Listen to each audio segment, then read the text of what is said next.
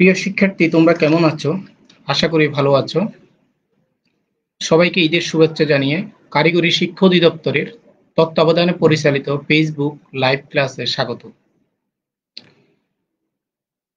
আমি প্রকৌশলী Uttam Kumar Debnath instructor refrigeration air conditioning technology Chandpur polytechnic institute থেকে আজকের ক্লাসটি আমি পরিচালনা করছি।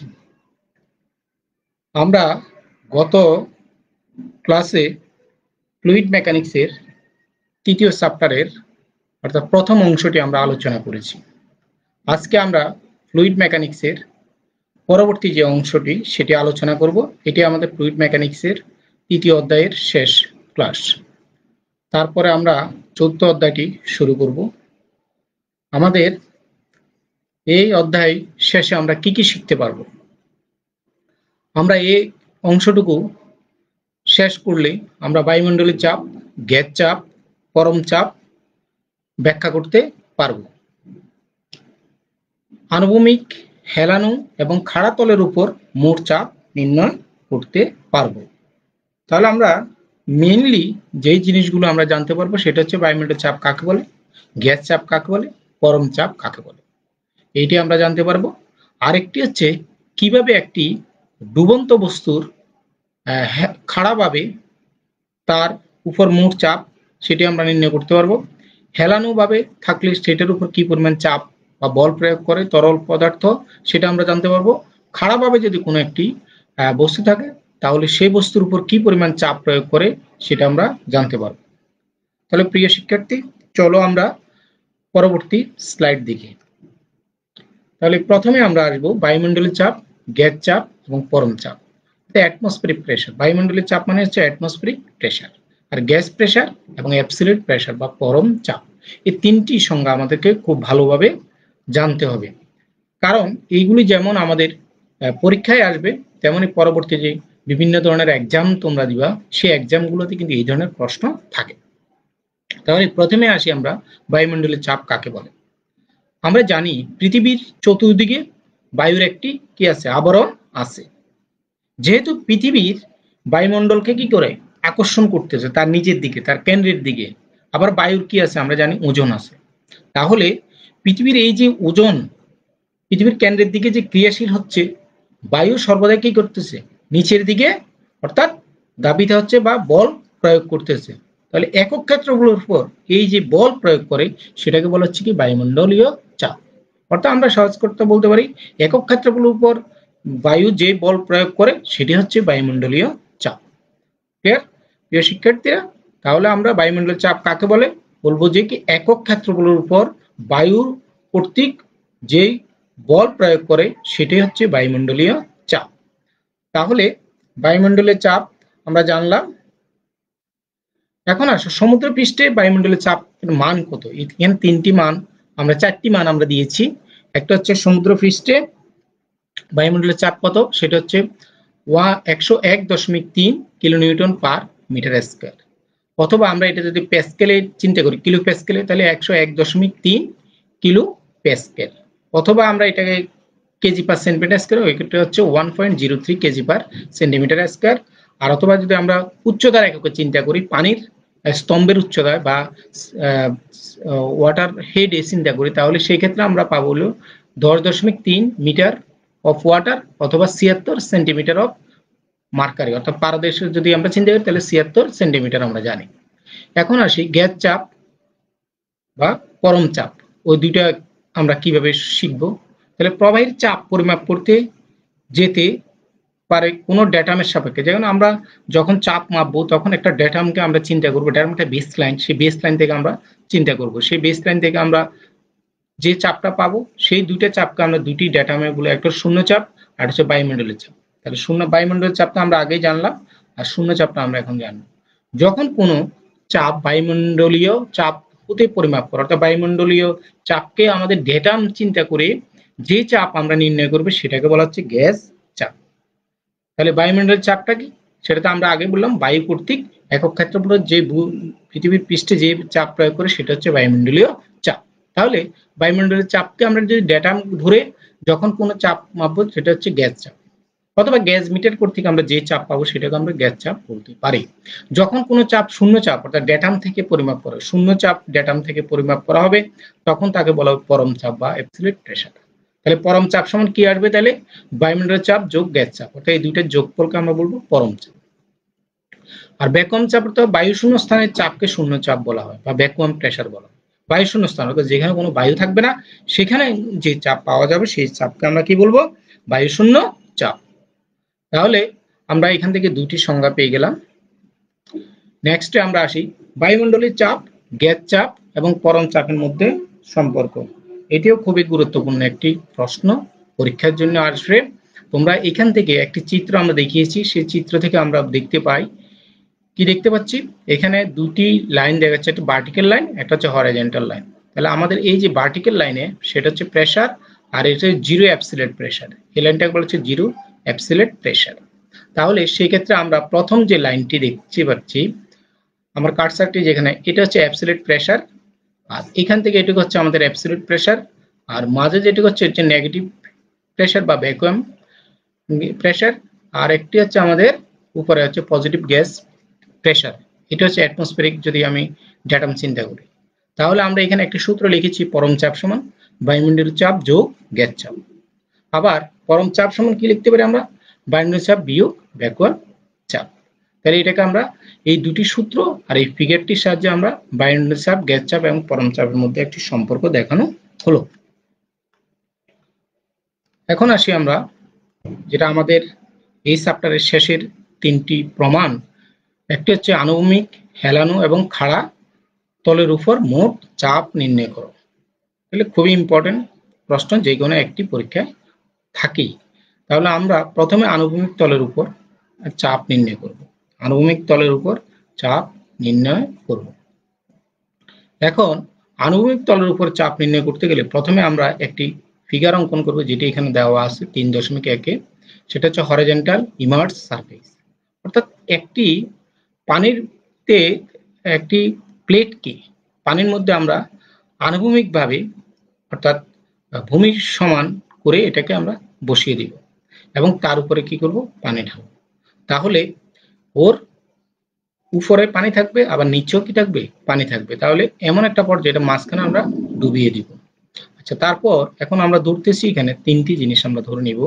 একটা হচ্ছে উমগ ইকুয়াল টু তরলের আপেক্ষিক ওজন। তিনটি প্রমাণের জন্য একই পদ্ধতি আমরা অনুসরণ করব। এখানে ওমেগা ইকুয়াল টু তরলের আপেক্ষিক ওজন, যেটা তোমরা আগের যে ক্লাস সেখানে আমরা ওমেগার সমান বিস্তারিত আলোচনা করেছি, অর্থাৎ ফ্লুইড প্রপার্টি যেটি তোমাদের হয়তো মনে আছে, সেখানে একটু যদি স্মরণ করো, তোমরা আরও ভালোভাবে জানতে পারবে। তাহলে ওমেগা ইকুয়াল টু কি? তরলের আপেক্ষিক ওজন। আর এ হচ্ছে ডুবন্ত যে তল আছে, সেটার টোটাল সারফেস এরিয়াটা এর যে সারফেস এরিয়াটা এই অংশটুকু টোটালটুকু হচ্ছে কি? এ সারফেস এরিয়া আর এক্স হচ্ছে তরল পৃষ্ঠ, তো ডুবন্ত তলের উপর গভীরতা। অর্থাৎ আমাদের উপর যে সারফেস যেটুকু যে সর্বোচ্চ যে পানি আছে, পানির যে লেভেল সেই লেভেল থেকে ডুবন্ত তলটি যেখানে আছে, সেইটার উপর যে উচ্চতা, সেটা হচ্ছে এক্স বার সেটা হচ্ছে এক্স বার তাহলে আমরা তিনটি প্যারামিটার এখানে ধরে নিলাম। এটা হচ্ছে ওমেগা ইকুয়াল টু তরলের আপেক্ষিক ওজন এ ইকুয়াল টু ডুবন্ত তলের ক্ষেত্রফল এবং এক্স বার ইকুয়াল টু তরলের পৃষ্ঠ হইতে ডুবন্ত তলের গভীরতা। আমরা নেক্সটে যাচ্ছি। তাহলে আমরা প্রথমে কি জানি? চাপ। মোট চাপ সমান কি জানি? ডুবন্ত তলের উপর ওজন। ডুবন্ত তলের উপর কি? ওজন। তাহলে ডুবন্ত তলের উপর ওজনটাই তো চাপ। তাহলে ডুবন্ত তলের উপর ওজন, তাহলে ওজন সমান আমরা কি জানি? W equal to omega equal to আমরা জানি ডাব্লিউ বাই বি অতএব ডাব্লিউ টু আবার কি লিখতে পারি? Omega into b omega into b অর্থাৎ ওমেগা হচ্ছে তরলের আপেক্ষিক ওজন, এটা লিখলাম ইন্টু হচ্ছে তরলের আয়তন। তার তরলের আপেক্ষিক ওজন এখানে রেখে দিলাম, আর ইন্টু তরলের আয়তন যদি বাইর করতে চাই, তার ওই যে, যেই তলটি আমরা ডুবিয়ে দিয়েছি, সেই তলের উপর মোট পানির আয়তন। তাহলে এখানে কি হবে? তরলের, তলের ক্ষেত্রফল, অর্থাৎ যে প্লেটটি আছে, সেই প্লেটটির ক্ষেত্রফল ইন্টু তরলের গভীরতা বা তরলের উচ্চতা। তাহলে আমরা কি পাবো? তরলের আপেক্ষিক ওজন হচ্ছে ওমেগা। তরলের ক্ষেত্রফল যেটি আমরা, তলের ক্ষেত্রফল যেটিকে আমরা এ দিয়ে প্রকাশ করেছি, আর গভীরতাকে আমরা এক্স বার বলেছি। তাহলে আমরা কি পাবো? P equal to omega a x bar তাহলে একটি হরিজেন্টাল প্লেটের উপর মোট চাপ equal to p equal to omega a x bar প্রিয় শিক্ষার্থী এই প্রমাণটি যদি পরীক্ষা আসে, তাহলে তোমরা অবশ্যই লিখতে পারবা। একেবারে সহজ একটি প্রমাণ। আশা করি তোমরা বিষয়টি বুঝতে পেরেছ এবং ক্লিয়ার হয়েছে। তাহলে আমরা পরবর্তী যে প্রমাণটি আছে, সেটি দেখব। সেটি হচ্ছে আমাদের কি? খাড়াভাবে ডুবন্ত তলের উপর মোট চাপ। খাড়াভাবে ডুবন্ত তলের উপর মোট চাপ। অর্থাৎ total pressure of immersed surface at vertical এখানে একটা খুবই ইম্পর্টেন্ট জিনিস, সেটা হচ্ছে একটা প্লেট আমরা, একটা ফিগারকে আমরা আগে দেখব। সেই, এখানে একটি ফিগার আমরা দিয়েছি। তাহলে এখানে হচ্ছে আমাদের, এটা হচ্ছে আমাদের কি? তরলের মেন টপ সারফেস বা লিকুইড সারফেস এখন এর ভিতরে একটি প্লেট আমরা সেটা খাড়াভাবে আমরা রেখেছি। সেই প্লেটের সেই প্লেটের আমরা দুটি পয়েন্ট একটা হচ্ছে জি এবং সি দুটি বিন্দু নিয়েছি। জি বিন্দুটি হচ্ছে তার কেন্দ্র।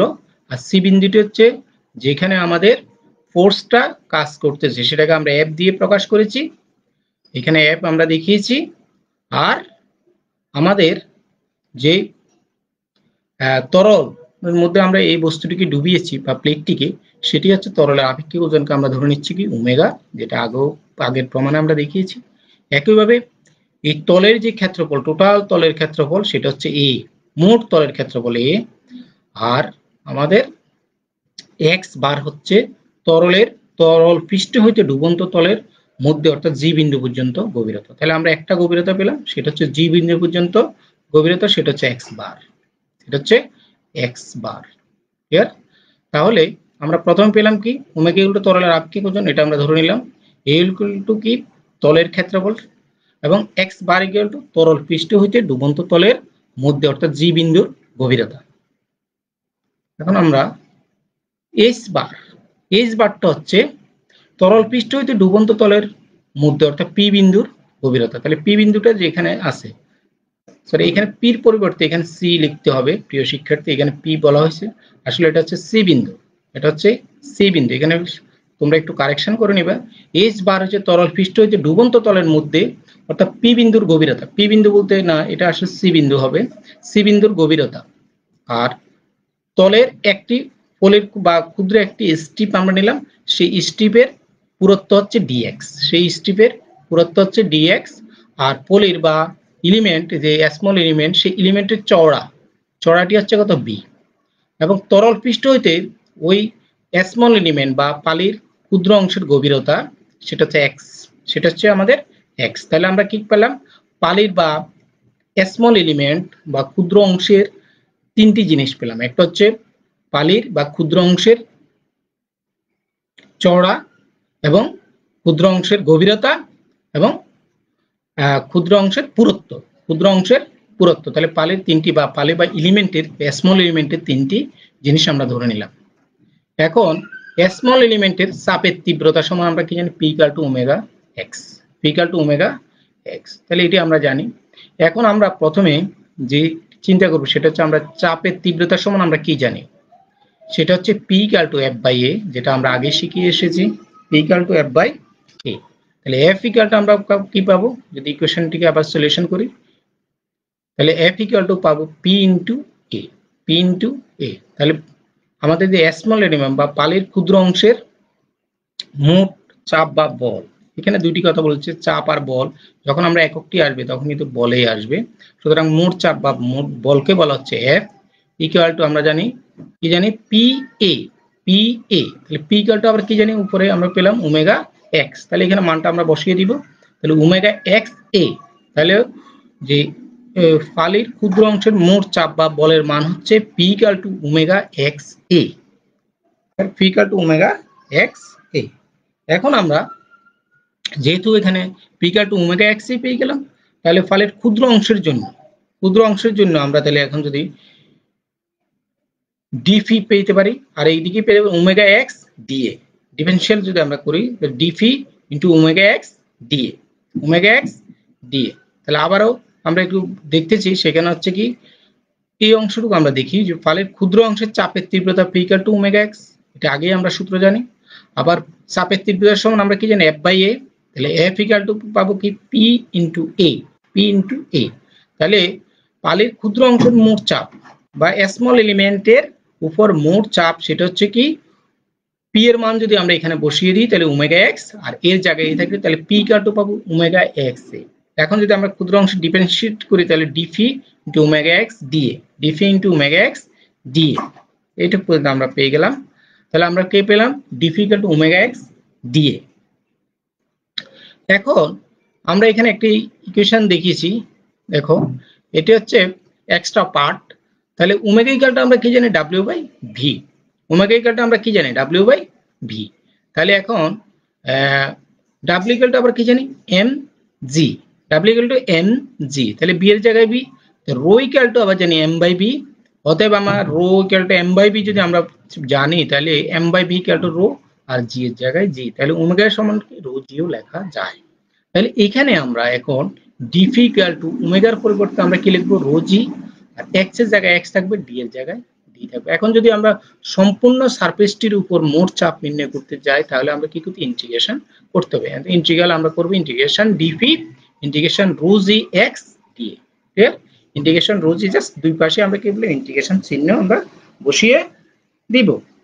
হ্যাঁ ইন্টিগ্রেশন চিহ্ন আমরা বসিয়ে দিব তাহলে আমরা যেহেতু ইন্টিগ্রেশন চিহ্ন বসিয়ে দিলাম, তাহলে আমরা এখন কি পাবো?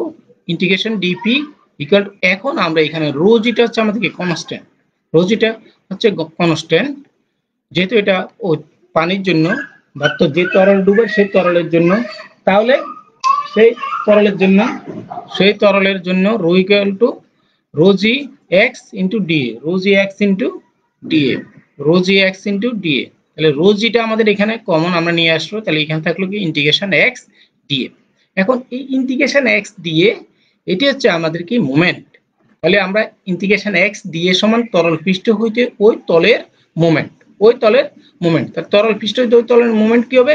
যেহেতু আমাদের দূরত্ব হচ্ছে এক্স বার অর্থাৎ দূরত্ব ইন্টু এখানে কি? এরিয়া এরিয়াটা হচ্ছে এ তাহলে মোমেন্ট হবে এক্স বার এ মোমেন্ট হবে এক্স বার এ, তাহলে আমরা ইন্টিগ্রেশন এক্স দিয়ে এর পরিবর্তে আমরা কি লিখব? X bar A x bar A তাহলে আমাদের কি পেয়ে গেলাম? রোজি তাহলে রোজি সমান আবার কি লেখা যায়? ওই যে ওমেগা। উপর থেকে আমরা আবার চেঞ্জ করে দিলাম। Rho g equal to omega. আর এর জায়গায় এ এক্স বার এক্স বার তাহলে আমরা পি সমান পেলাম, মোট চাপ সমান পেলাম, omega A x bar omega A x bar তাহলে আরেকটি আমরা প্রমাণ শিখে ফেললাম। প্রিয় শিক্ষার্থী, এটিও খুবই ইম্পর্টেন্ট একটি প্রমাণ। তোমরা এটি বিস্তারিত কয়েকবার যদি তোমরা দেখো, তাহলে অবশ্যই তোমরা করতে পারবা এবং এটি সহজভাবে এখানে করে দেওয়া হয়েছে। তারপরের যে প্রমাণটি দিয়ে যাব আমরা, সেটি হচ্ছে আমাদের কি? হেলানো তলের উপর মোট চাপ। হেলানো তলের উপর, কোন তরলের মোট চাপ। তাহলে আমরা হেলানো তলের উপর মোট চাপ, সেটি আগের যে প্রমাণটি ছিল, সেই ধরনেরই কিন্তু এখানে শুধু অ্যাঙ্গেলের একটি পরিবর্তন আমরা নিয়ে আসব। যেহেতু বলছে হেলানো, আগেরটি ছিল খাড়া। তাহলে হেলানো ছিল, তাহলে আমাদের খাড়া থেকে আমরা হেলানোতে চিন্তা করব। তাহলে প্রথমে আমরা চিন্তা করব, মনে করি চিত্রে অঙ্কিত হেলানো তলটির পানিতে ডুবানো আছে। তাহলে আমরা কিসের মধ্যে পানিতে এটা ডুবিয়ে দিয়েছি? তাহলে একটা এখানে তরলের আপেক্ষিক ওজন আসবে, যেটা আগেও আমরা বলেছি, ধরি উমেগা ইকাল তরলের আপেক্ষিক ওজন, এই ইকাল তলের ক্ষেত্রফল। তিনটি প্রমাণের ক্ষেত্রে এই অংশটুকু কমন তাহলে এই হলো কি তলের ক্ষেত্রফল। এক্স বার সমান তরল পৃষ্ঠ হইতে ডুবন্ত তলের মধ্যে অর্থাৎ জি বিন্দু পর্যন্ত গভীরতা। তাহলে এইখান থেকে এক্স বার যেটি, এই যে এই এক্স বারটি, অর্থাৎ যেহেতু আমরা এখানে দুটি ফিগার দেখেছি, এটি একটি ফিগার এটি যদি আমরা সাইড থেকে দেখি, সেটি পাবো আর টপ থেকে দেখলে এটি আমরা পাবো। দুটি আমরা জিনিস একই জিনিস জাস্ট দুটি দেখিয়েছি, বোঝার সুবিধার্থে। তাহলে আমাদের এই যে প্রথম যে বিউটি সেটি হচ্ছে আমাদের প্লেটের একটি অংশ দেখা যাচ্ছে, আর এটা হলো উপরের তলটি দেখা যাচ্ছে। তাহলে আমাদের এটি হচ্ছে বিন্দু জি বিন্দু। তাহলে জি বিন্দুর গভীরতা কি? এক্স বার এক্স বার আর সি বিন্দুর পার্টটা হচ্ছে কি?